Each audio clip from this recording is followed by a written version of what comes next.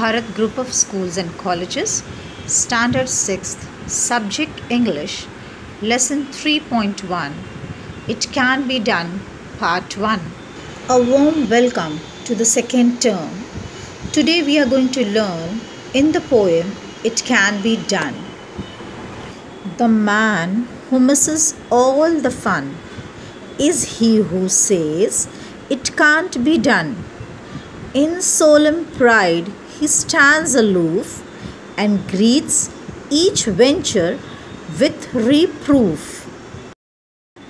Here in the poem, solemn means very serious and important.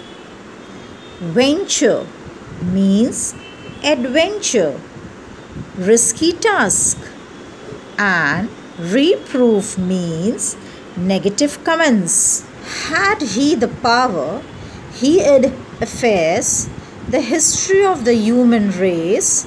We'd have no radio or motor cars, no street lit by electric stars. Here, the meaning of efface is wipe out or remove. No telegraph, no telephone.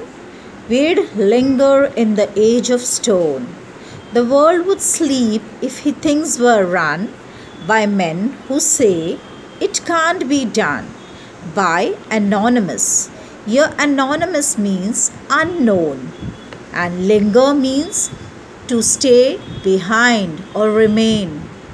Here in the poem, the poet begins the poem by telling us of the man you always says it can't be done that person misses all the fun because he does not want to try anything and so he cannot enjoy the feelings of trying out new things or innovating and finding out about different ways of doing things.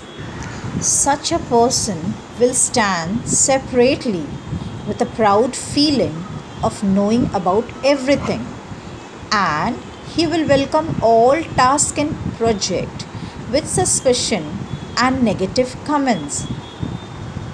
And if he had the power, he would remove all the evidence of human inventions. For example, all that man has invented right from his first invention of fire.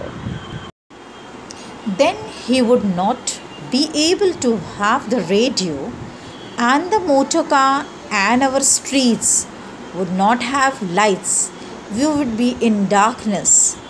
There would not be any telegraph or telephones, and we would still be living in the Stone Age.